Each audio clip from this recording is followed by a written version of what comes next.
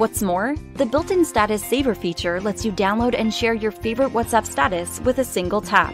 With over 500,000 downloads globally and an average rating of 4.3 stars, simply head to Google Play Store to install the WhatsDeleted app today.